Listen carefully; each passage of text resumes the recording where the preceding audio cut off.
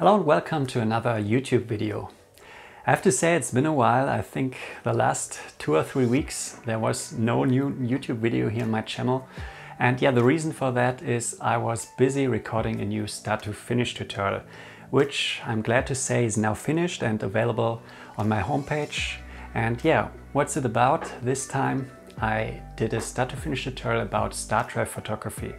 So back in February when I was traveling through Morocco, I was again in the desert where it's very dark and yeah, the year before, if you remember, I did my Desert Nights tutorial, which was about photographing the Milky Way over the desert.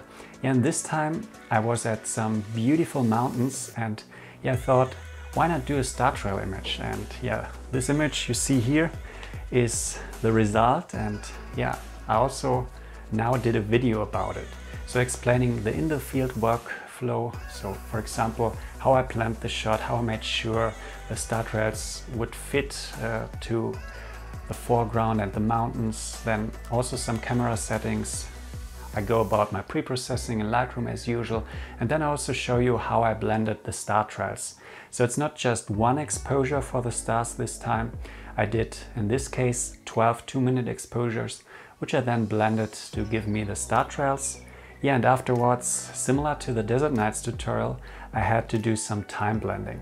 Because to get good detail and low noise in the foreground in the mountains, I actually took photos around sunset or after sunset during twilight, where I did focus stacking and exposure blending to get all the details I needed.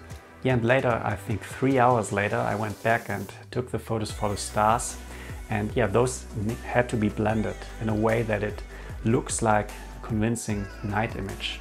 And yeah, I also had some creative freedom, so leaving some glow on the side here, which I kind of use to give me the light which I need to have some details in the foreground. So also part of a convincing result, so to say. And yeah, after this time blending step, as usual, creative processing, which I'll show you.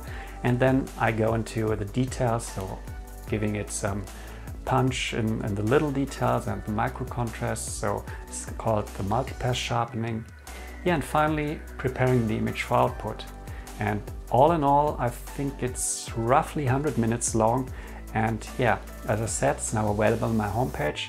I also have a discount code active, so if you head to my tutorials page on the homepage, all tutorials are now 25% off for some time. I'm not sure how long, so I'll, I'll leave this for a few weeks, I think. And yeah, you can purchase this tutorial or any other tutorial. Just use the code and get 25% off. And yeah, hopefully next week also I'll have a normal YouTube video again. But yeah, for now, hope you enjoy the new start to finish tutorial and yeah, see you soon.